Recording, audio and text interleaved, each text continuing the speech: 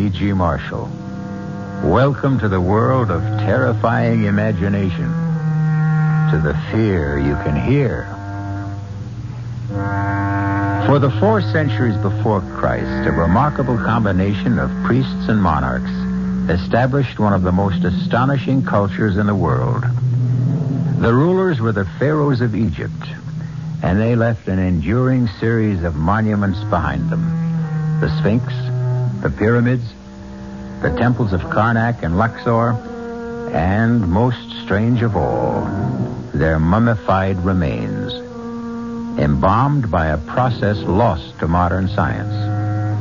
This is the story of one such mummy and the eternal curse she left to be visited on any violator of her tomb.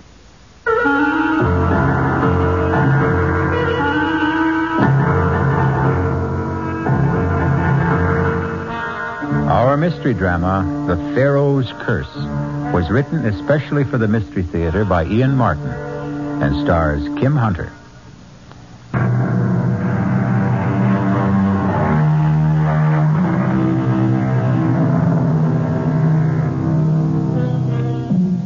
Nineteen twenty-four, fifty years ago, belongs to another world.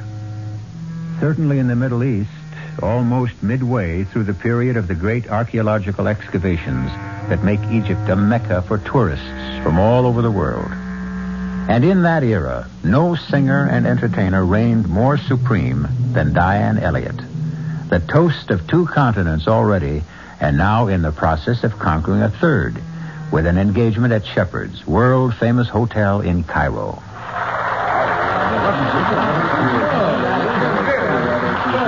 You will sing again, Miss Elliot?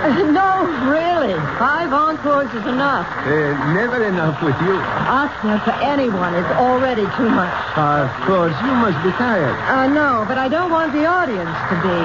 If you'll excuse me. Would you excuse me first? Hmm? There is an old friend of mine here tonight who would very much like to meet you. Could I presume to ask if you would join him as he asked for a drink at his table? Well, who, who is this friend of yours? Sir Geoffrey Lunscombe. The famous archaeologist? He's still alive? I, I mean, well, he, he must He's quite be. old, but most active. Uh, uh, w- would you ask him to give me ten minutes and then come back to my dressing room?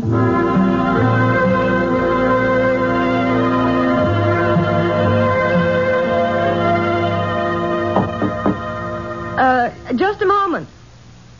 Uh, come in. Uh, Miss Elliot, Sir Geoffrey? guilty as charged? Oh, dear. Did I sound forbidding or something? No, not at all. It's just that I feel I'm intruding. Oh, not at all. I, I hope you'll excuse me, though. I, I've started changing because tonight's the end of my engagement here, and I have to start packing. Well, then you'll be leaving Cairo. Well, no, no, not for a few days. I hope at least a week. I've wangled a little gap between engagements because I want to do some Uh, sightseeing. good, good, excellent. That makes it so much easier for me to ask what I want to ask. It's amazing. What? You, my dear. With your robe pulled tightly around you and your hair swept back so severely from your face. Yes, yes. Absolutely amazing. Well, I, uh, Let me uh, tell you why I'm here. Have you ever heard of the Princess Hasiba? no. Well, it's not too surprising. She was, you understand, a little before your time. Approximately 4,000 years. Hasiba, the gazelle-footed trailer of perfumed musk. Hasiba, the doe-eyed, radiant perfection of the three worlds. Hmm, I thought you were an archaeologist, not a poet. Oh, not I, my dear. That's uh, Thotmes the Fifth, her husband, the Pharaoh. And he was right. She was, until then at least, the most exquisite woman who ever lived. And when she died, at 19, the Pharaoh was so crazed with grief that he stripped himself of all his wealth and turned it into jewels with which he filled her burial casket to the brim. She was buried with all the honors of a pharaoh, and the door to her mastaba sealed forever with an undying curse. The, uh, mastaba? The, uh, the burial chamber. And the curse? This chamber holds the jewels of my kingdom. Jewels beyond number and one beyond all price. Who breaks this seal forever seals his doom. He will walk no more among the living nor find his way among the dead. Hmm. You almost make me believe that. And I, I almost believe it myself. Perhaps it's why I've taken the liberty of coming to you. I don't understand. Oh, why should you? Let me explain. Fifteen years ago, I discovered the small pyramid that covers the burial chamber. Three times, on different expeditions, we have excavated with no success. This time, we have managed to isolate the mastaba itself, in spite of every kind of miserable luck. Cave-ins, men injured, crews deserting. But at last, within the next few days, I'm convinced the entrance will be found. Oh, how exciting, how wonderful for you. And Hasiba. I hope she isn't a disappointment. Was she really so beautiful, do you think? Incredibly. Her face shamed the shining sun, and the day was lit up by the light of her countenance. You know, you sound as though you'd actually seen her. I have. You have? Oh, yes, yes, my dear. For every description fits you. well, Sir Geoffrey, I'll, I'll have to admit that's about the prettiest compliment I've ever been paid. And the truth. Now, look, look. Uh, wh- wh- what is it? An ivory miniature of Hasiba, hand carved. How beautiful. Exquisite. Isn't it? But perhaps now you can see, Miss Elliot, why I can easily believe in reincarnation. It's why I asked to meet you. I've devoted the last, best part of my life to unearthing this tomb. And I've come to be afraid of a curse and to believe profoundly in the power of good omens and luck. I need that luck. And I think I found it. I know you are my luck. Well, how can I help you?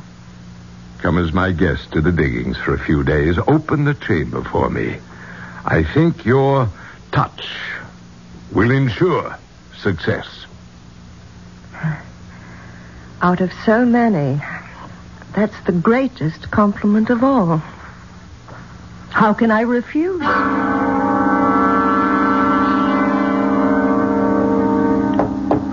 Uh, uh, just a moment. Oh, driver, good. Come in. Uh, now, all I'm taking are these two bags, and you are not the driver I engaged this morning. No, Miss Elliot. Then why? Allow me my credentials. Inspector Hasid of the Cairo Police. Police. If you doubt me, call Ahmed. He will vouch for me. Now, uh, may I ask a few questions? Well, of course. You had never met Sir Geoffrey Lonscombe before the night before last. Oh, that's correct. But you are planning to visit the diggings. Yes. Why? Well, because he invited me to. Just as a guest? Of course. For a few days, correct? Well, now let's not make anything out of that, Inspector. He is about to open the tomb of some ancient Egyptian queen, and I am intrigued. I've never had the opportunity to meet a 4,000 year old princess who's supposed to look like me. Now, what's wrong with that, and why should it interest the police?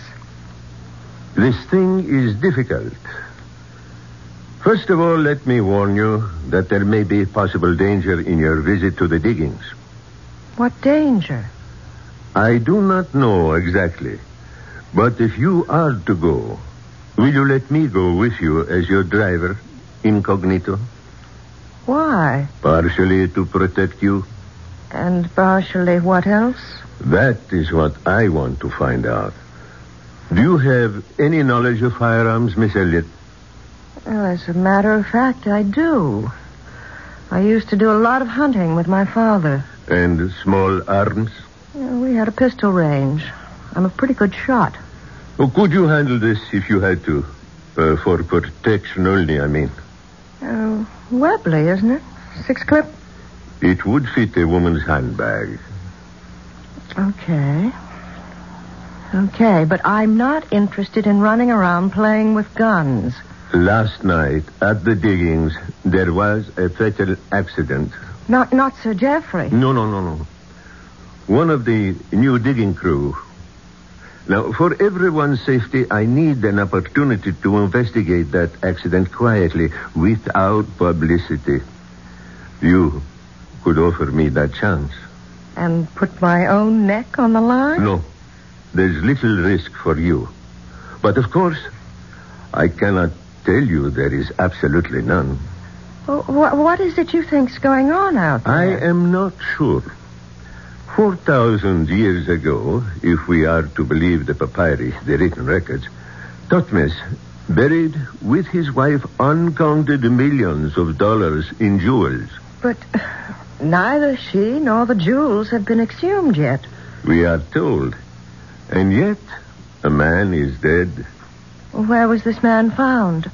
Near one of the many statues that ring the pyramid, far from the tomb itself. Well, so what has that to do with. Um, murdered? Not by any human agency, apparently. The man was crushed, as if broken in the arms of a.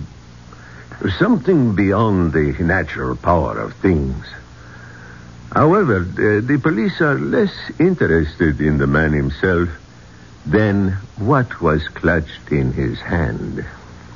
What? I have been selected to investigate this matter quietly and anonymously. Uh, will you let me go with you? You're. you're kind of daring me, aren't you? Pardon? You don't want me to refuse. I don't think you are in any real danger, Miss Elliot. And I need a cover. Okay. Let's go adventure. Just tell me one thing first. What is there for the police to investigate? What was it the man had clutched in his hand? A diamond of great beauty and great price. What kind of diamond? Now, there's just the whole point, Miss Elliot.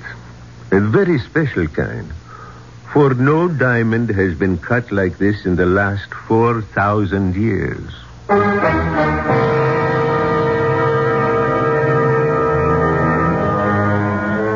A tomb sealed fast for 4,000 years, where a princess lies in a coffin filled to the brim with precious stones of incalculable value. Could this diamond be from a tomb as yet uncovered, or was it some random discovery? And if it were, what inhuman agency, with a power beyond all human scope, mangled and destroyed the unfortunate man who found the strangely cut diamond? I'll return in a few moments with Act Two.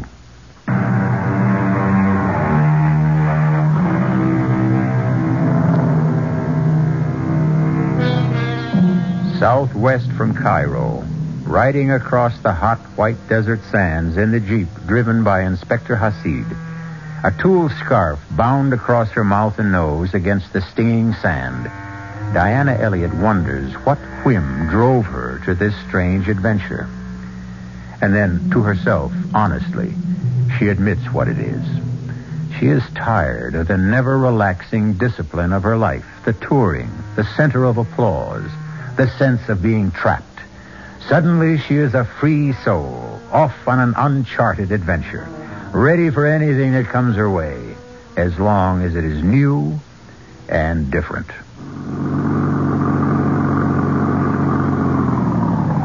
Miss Elliot. Oh, you know me? Yes. And you more than live up to what I've heard.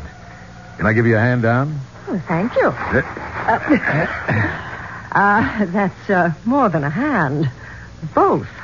Hmm. Brother, the old boy was right. About what? You. And our 4,000 year old lady. Uh, Uh, perhaps. But I'm not 4,000 years old yet. And I can stand by myself, Mr. Irving, John Irving. I'm Sir Jeff's assistant. He asked me to look out for you. Oh, great. Could we start by having you let go of my waist so I can breathe? I'm, I'm sorry. Where's Sir Geoffrey? I had to go into Cairo with the English mail and in connection with an accident we had here. Oh, yes, I know about that. You do? Uh, yes, yes, I, I, I read about it in the Cairo newspaper. Oh. Well, let's get your bags and get you settled. Do not worry, sahib. I will take care of them. Oh, fine, driver. Uh, Miss Elliott's go into the big tent with the canopy. Uh, you can bunk down with the crew over there. Any one of the three tents near the diggings. Very good, sahib. You want to go freshen up, Miss Elliott? Oh, no, no. Everything is too new and strange and exciting. I want to explore. Okay. You want to walk over and have a closer look at the pyramid? I love it. If I'm not keeping you. No, you're not. I I've been designated as the official reception committee for the afternoon. Uh, tell me, uh, have you found the tomb yet? Uh, not quite, but we're close. Uh, we started to uncover what appears to be the entrance to the outer chamber this morning.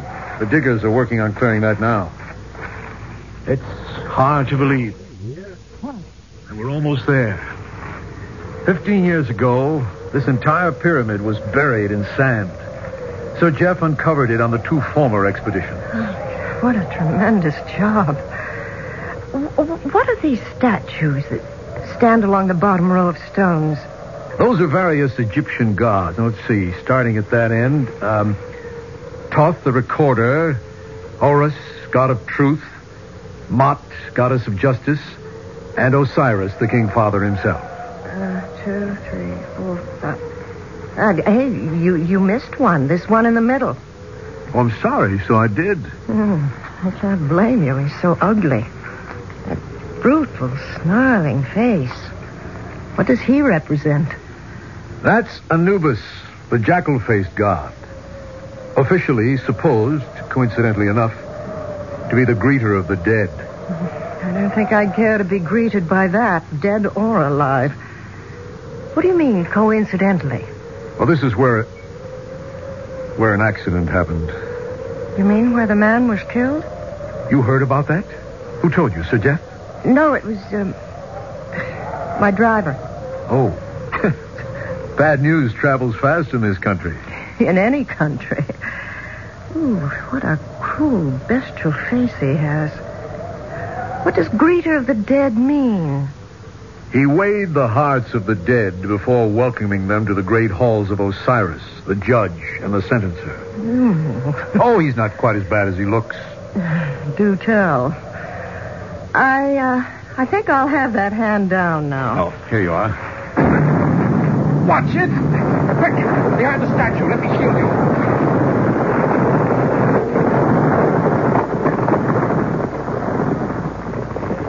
You all right, Diane? I'm all right, Mr. Irving. Well, couldn't we make it John? I called you Diane. So you did. It just slipped out. Did it scare you? If you mean the explosion, of course it did. Dynamite. What was the dynamite for, John? That's just what Sir Jeff's going to want to know. He's going to be hopping mad when he gets back. Damn that Sargon. Who is who is Sargon? Our esteemed Egyptian colleague and so-called archaeologist who's been gumming up this expedition ever since it started. Gumming it up. Yeah, he resents all outsiders who come here on what he considers his territory. Well, you can't blame him, I suppose. It's his country. But just the same, the guy's pretty hard to take. For some reason, he wants that tomb to remain sealed. With that dynamite he set off, maybe he's just gotten his wish. Now, come on. I'll see you back to your tent so I can go find out just what damage has been done.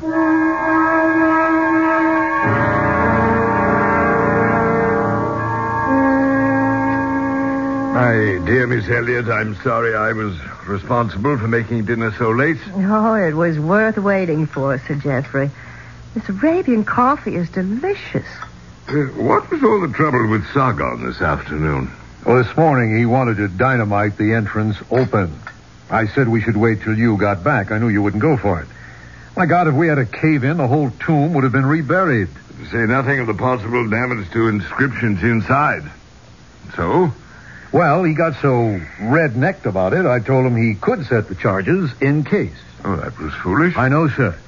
But I never thought he'd be pig-headed enough to set them off on his own hook. That is it, I. Oh, Sargon, Sargon, my dear fellow. Come in, come in. Join us in uh, coffee. I do not break bread among my enemies. Or with the infidel. Now, wait a No, minute. no, no, Sargon. I know you, you're upset, but there's no need to be rude. I don't believe you've uh, met our guest, Miss Diane Elliot. Ali Atman Ben Sargon, one of our most noted Egyptologists. How do you do? Your servant, Anisa. Now, uh, about this thing this afternoon. Mr. Irving said the orders came from you. Why, you... John. If he denies that, he lies. You think I'm going to sit still Now for sit that... down, sir. I will not have this bickering in front of a guest. It can be settled later. In the meantime, fortunately, there's been no damage of consequence, and the way into the tomb has been opened. No harm has been done. A great deal of harm has been done. The crew has deserted. What? That is what I came to tell you. They have taken all our transport and left. I tried to stop them, I but bet you did. Now, look, Sir Just, Jeff, I- just, just, just a moment, John.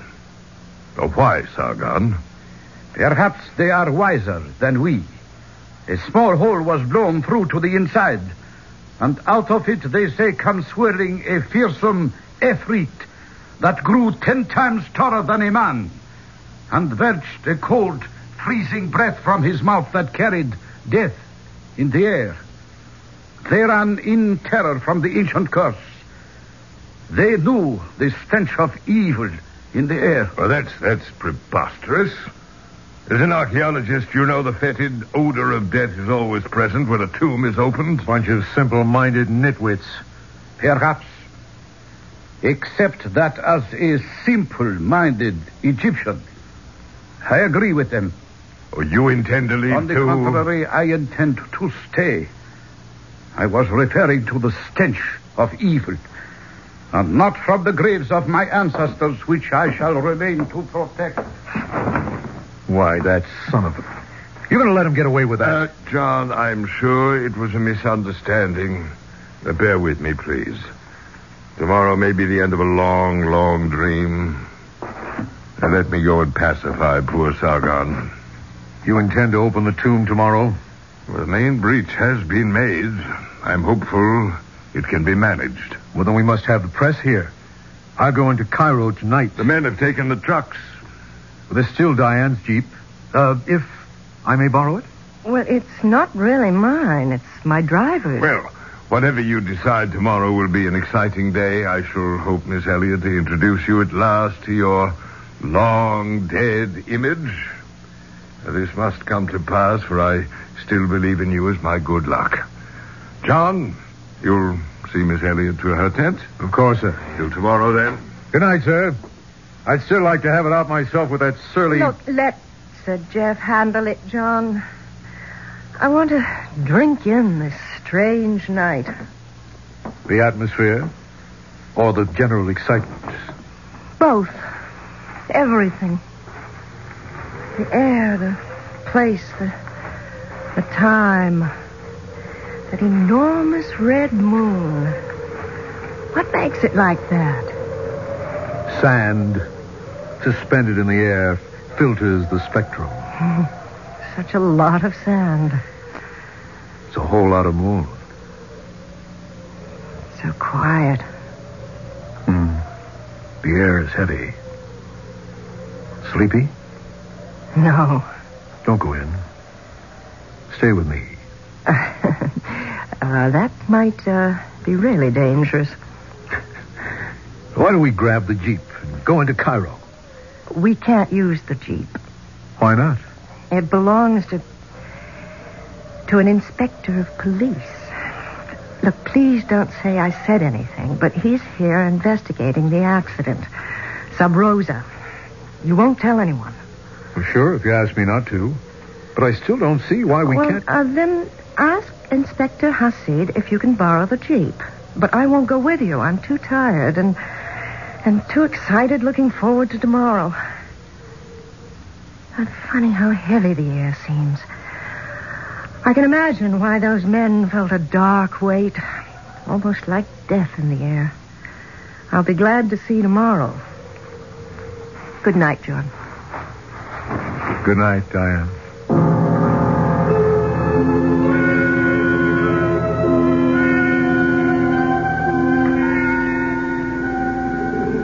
Diane? Diane? What is it? Are you dressed? Can I come into your tent? Uh, yes. I was just starting to go to bed. What is it? Look, I, I don't want to alarm you, but the men were right. There is death in the air tonight. Well, what now? Oh, it's nothing to do with the legend. Totally atmospheric. A simoom is on its way. We must race it back to Cairo. But, but the tomb. The tomb can wait, as it has waited for centuries. Oh, but there won't be room in the jeep for all of us. Only you and I are going. And the others. Sir Jeff and Sargon won't leave the tomb. Inspector Hasid won't leave Sargon and remains to protect Sir Jeff. What does that mean? Sargon is not to be trusted. Sir Jeff and the inspector know that. But if we have to run for safety, what about them? Well, they'll be safe in the excavation. It, it's like a, a tornado cellar. That's just what this blow will be like, anyways. So why can't we hole up with them? We could, if you think you can spare the time. What's that mean? A simoom. It could blow itself out in six or seven hours or six or seven days. Now, can you spare the time? Oh, of course not. I'm due in Paris in three days. Give me five minutes and uh, I'll get my suitcases ready and we'll be on our way.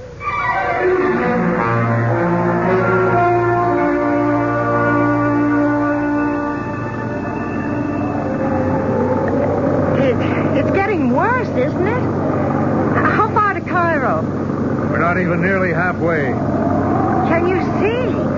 What's to see but sand, sand, and more sand? John! John, what's that? Ahead. Damn. The twister itself. Double right around on us. What are you doing? We can't hit it. It would suck us right up into the land of Oz or the Arabian Nights. We've got to run for cover. Where? Back to the diggings, the only shelter. Just hold your seat and hope we can outrun it. Baby, this is one archaeologist who doesn't live in the past and is very interested in the future. Right here and now, we've got to hang on to the present.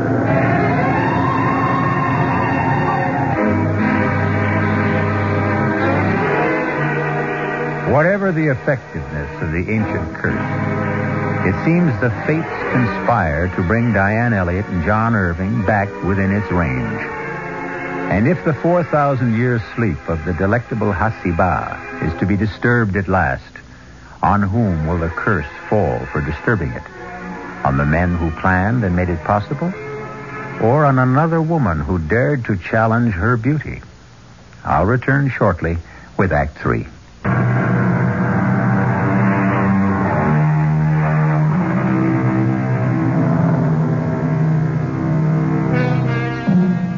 The outer chamber, shielded from the wild gust and the roar of the simoon raging outside, Sir Geoffrey and Sargon have isolated and almost cleared the door to the mastaba itself. They are engaged now in cleaning up the debris the explosion earlier in the day had caused. That does it. The door. The door is free. Fifteen years. And the moment is here at last. I am about to enter the tomb of Hasiba. My countrymen have waited 4,000. Come, come, Sargon, let's for God's sake not it. this minute. What is it?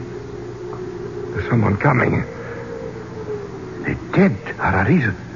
But it'll be silly. It's from the outside. Why, it's Miss Elliot. the bad penny and companion. Turning up again. Well, what happened? Couldn't make it, sir. We just beat that old twister back here to safety. Turned around on us. Just the two of you. Yes. What happened to your driver? We understood he stayed with you.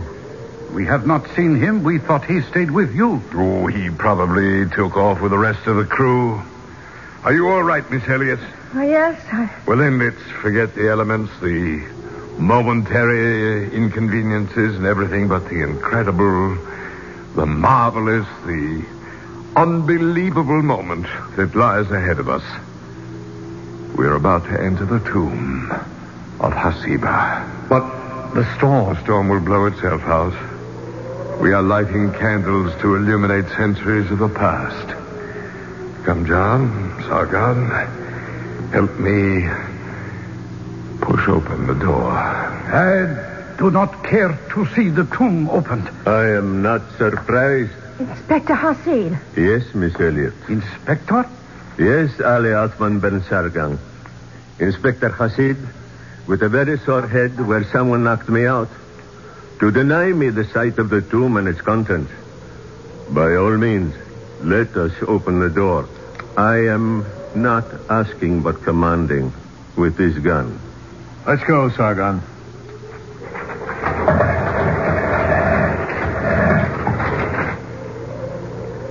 There it is. Beyond that black aperture lies Hasiba, wrapped in her blanket of jewels. Who shall be first to enter? The right is mine. The right is Sir Geoffrey's. Don't make me use my gun. This is a moment I dread as much as I desire. Who knows what lies in that dark cave? The tomb may have been rifled centuries ago. Its artifacts destroyed the very catafalque itself. Vandalized. The curse was never idle. And then suddenly I am too old and afraid to enter. Diane? I. I brought you here as my luck. Will you risk it and enter first? If you wish me to. I wish it with all my heart. John, take the torch and light her in. Yes, sir. Careful, Diane. Easy. What is there to fear? Who knows? The dead resent intruders. Well, I only hope that. Oh! What is it? Something thrown beneath my feet. Look out, eh? What happened, John? The door to the tomb swung shut. Well, can we open it? No. The counterweights locked it somehow. Hold With up me? the torch. Why? There's an inscription inside the door. What does it say? It. But it would take time to decipher it. Don't worry, I can guess.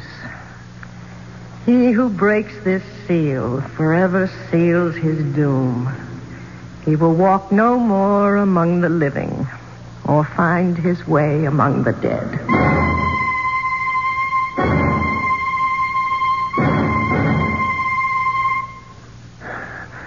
It's just what I was afraid of. Hopeless. The door can't be budged. What happened? The stone you stepped on, designed to trip the counterbalancing rocks and lock them. To get the door open now, they'll have to blast. So that was Tothman's ancient curse. It's pretty effective. Look, hold up the torch, John. Is that better? Yes. It's not a very large chamber. No. In the center there, is that? Yeah. That's the catafalque. Hasiba. Can we look? Why not? Poor little princess. Poor little rich girl. So young. Can we can we open the sarcophagus? I don't know. Somewhere there should be. Well, let's see. Ah, here. It's too heavy. Far as I dare slide it. Such a big coffin for such a little girl. But oh, but she is lovely. The face is only a death mask. Where are the jewels, John? The jewels that filled the casket to the brim. That's right. Evidently, old Tothmas regretted his generous impulse and sneaked in later and pinched his fabulous fortune. How? I. I don't know. What's the matter with the torch? I'm afraid it's going out. Well, can't we light it again? No. Lack of oxygen. We've got to get out of here. Haven't you any idea how? The catafalque itself. Let's have a look. But how? Where? It's just a simple box. Except here, at the foot of it, carved in bas relief. Oh, wait. Let me hold the torch close. Yeah, that's better. What is it? That face. The god you showed me outside the pyramid. With the jackal face. What's his name? Anubis. Greeter of the dead. But he has another name. The opener of the ways. Diane, maybe this is it. Press it. Try it. Yes. The opener of the ways. Oh. Smell that, Diane. Fresh air. Look at the torch light up. And there are steps beneath. We're free. I wonder, John. I wonder.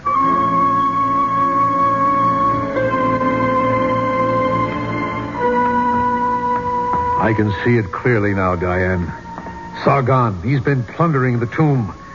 That was the reason for all the delays he caused. He had to have time to get rid of the jewels. And now, unless we escape somehow, he's safe. Inspector Hasid won't let him go. We might as well have all the cards on the table. When I stumbled into you entering the chamber, it was because Sargon pushed the inspector against me and grabbed the gun. You can be sure Sir Geoffrey and Hasid are both dead by now. And Sargon is on his way to freedom with the jewels. Well, then it's up to us to stop him. How? What's the matter? Blank wall. This looks like the end of the road. It does, at that. How how do we get out of this? That's all up to you, John. What does that mean? It's not very difficult to figure out. You know just where to put your hand to move this rock. Don't you, John? I? Why should I? Because you've been here so often before. You know. I think so. And what I don't know, I can guess. You found this secret entrance some time ago.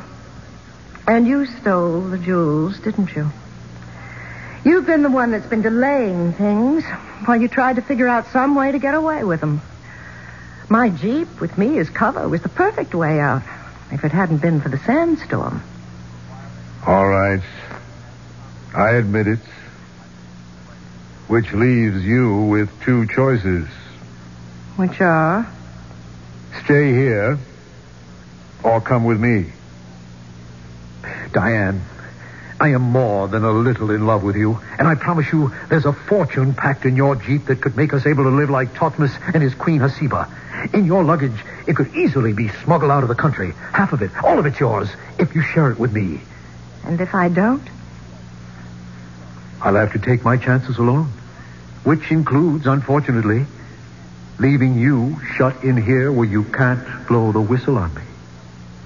Two choices, hmm? What else? This. What? Gun? Where did you get that? From the inspector. And don't think I don't know how to use it. Are you ready to open the door now? Suppose.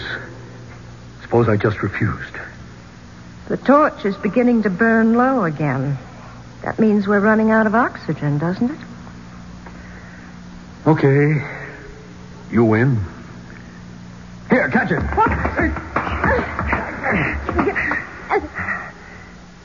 I hope I didn't hurt you. I had to get the gun. What are you going to do? Oh, nothing violent.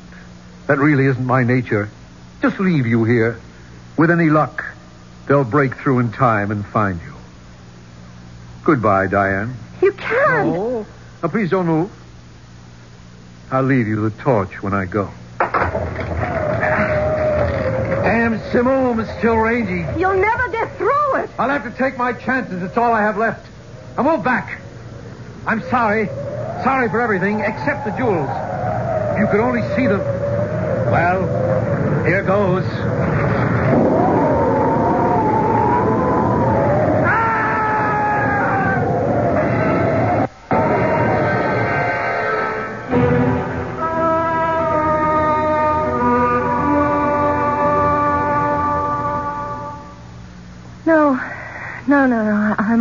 Uh, you must rest, my dear. There's time later. No, I, I, I want to finish telling you.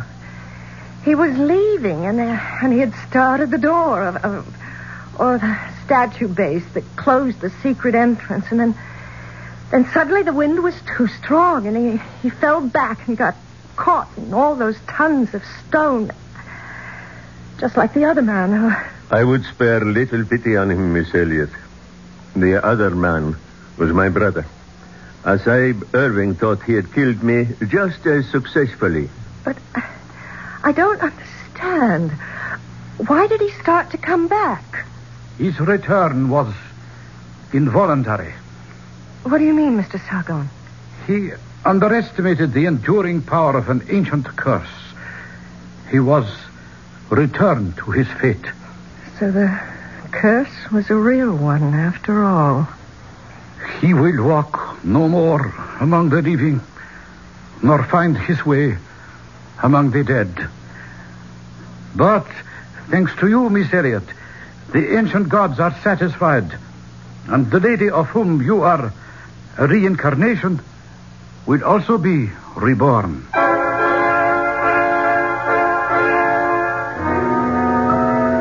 Hasiba, the gazelle-footed, trailer of perfumed musk. Hasiba, the doe-eyed, radiant perfection of the three worlds. Why shouldn't she be reborn? I'm in favor of it. What man wouldn't be? I'll be back shortly. And we'll return.